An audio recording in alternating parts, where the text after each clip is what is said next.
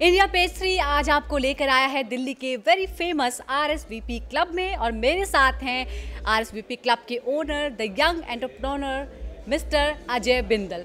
Ajay, पहले तो बहुत बहुत मुबारकबाद आपको कि आपने एक बहुत ही खूबसूरत जगह बनाई है, जहाँ पर यंग क्राउड हमने भी देखा है और यंग क्राउड को बहुत खींचती है ये जगह। लेकिन हम आपके बारे में जानना चाहेंगे, आपका सफ़र कैसा है? कितने सालों से आप ये काम कर रहे हैं? और आरएसवीपी कब खुला और क्या कॉन्सेप्ट है इसका?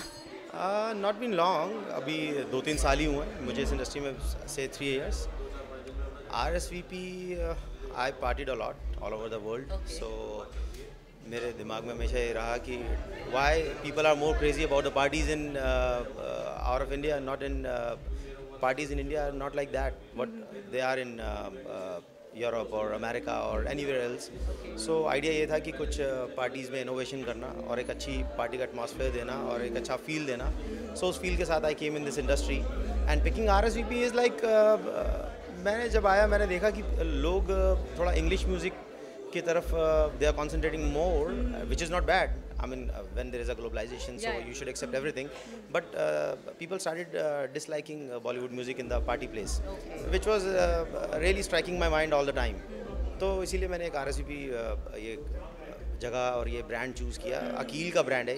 D J Akeel the famous Bollywood D J तो उनका ब्रांड है। तो we came up like a totally basically Bollywood club we call our self a Bollywood club so मेरा आइडिया था कि बॉलीवुड म्यूज़िक में एक अच्छा पार्टी एटमॉस्फेयर एक अच्छा क्राउड लोगों को दिखाना और लोगों को फील करवाना, एक अच्छा पार्टी एटमॉस्फेयर सो दैट जो एक बॉलीवुड की वाइब लग लोगों को लग रहा था कि नहीं है उतनी अच्छी। Right. तो वो दिखाना कि vibe is still good for Bollywood so that is how it started about R S V P okay I hope जितने भी अभी व्यूवर्स हमें सुन रहे हैं उन्हें ये पता होगा कि अगर आप कोई क्लब जाते हैं और आपको uh, बहुत सारा जैज़ या फिर ट्रांस पसंद नहीं है आप चाहते हैं कि थोड़ा सा बॉलीवुड डांस भी हो थोड़ा सा देसी तड़का हो जिस पर आप डांस करें तो R S V P is the right place for you R S V P के अलावा भी आप और जगह पर काम करते हैं? जी जज्बा है एक हमारा लाउंज रजौरी गार्डन में।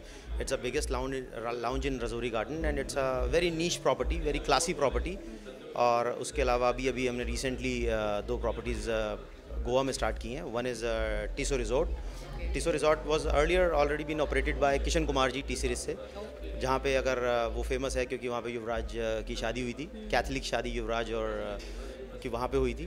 और it's a very famous place in Bollywood again Bollywood some somewhere Bollywood is in my in my Bollywood is in my heart तो मैं कहीं ना कहीं जाके बॉलीवुड पे ठहर जाता हूँ। हाँ, तो आप फिल्मी है मुझे लग रहा है। नहीं नहीं फिल्मी नहीं है but Bollywood music I I listen Bollywood we are listening Bollywood music from childhood and I don't know why people are just avoiding Bollywood music हाँ एग्जैक्टली तो मैं कहीं ना कहीं जाके बॉलीवुड पे ठहर जाता हूँ। हम्म। तो वो टिसो एक रिजॉर्ट है। वहाँ पे हमारे सेवन ब्यूटीफुल विलाज हैं। And it has a huge deck it's on a water it's a water front resort so वहाँ पे हज़ार बारह सौ लोगों की गैदरिंग uh, की पार्टीज़ होती हैं बहुत फ़ेमस पार्टीज़ होती हैं वहाँ ट्वेंटी नाइन्थ को and thirty first of December every year and then उसके साथ हमने एक और प्रॉपर्टी पिकअप की है Water Mark in Goa Water Mark की खूबसूरती है it's a catamaran standing in the middle of the river Chapora river and it has a capacity of one forty one eighty people and marine rules इतने strict नहीं है हाँ. तो वहाँ पे पार्टीज़ चलती हैं लेट नाइट तक भी अगले दिन मॉर्निंग तक भी समटाइम्स वी लाइक इस साल हमने एक नया सेशन स्टार्ट किया वहाँ पे ट्वेंटी थर्ड से हम एक पार्टी स्टार्ट करें सुप्रभात के नाम से।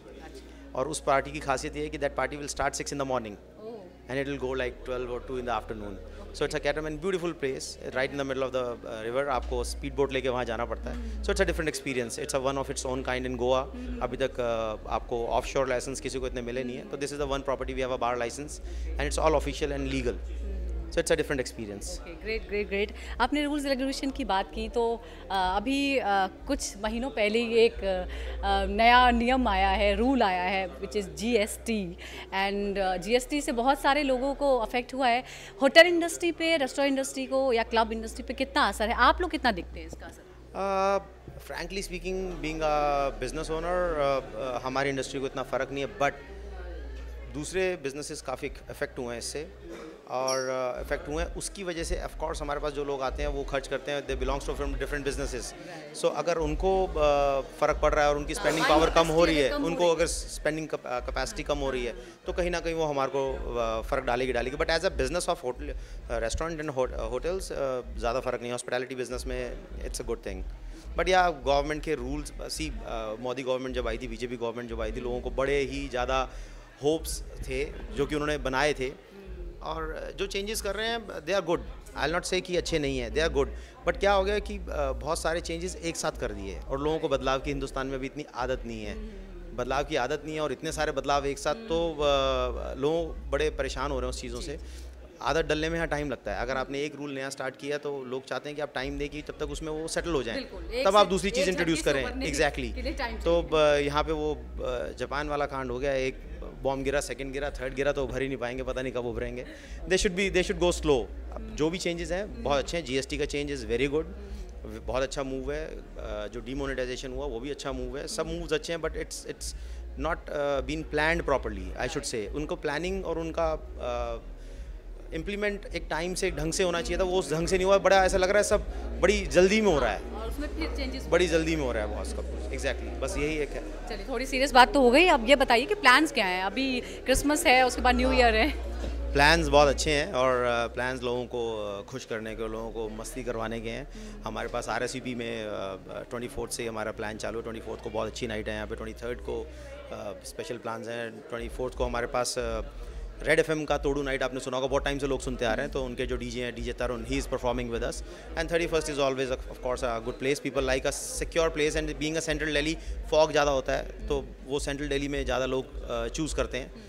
और सेफ़ uh, भी होता है being in a five star so it's safe also so यहाँ ये प्लान है गोवा में हम uh, हमने टेसो फेस्ट करके एक चालू किया स्टार्ट किया है।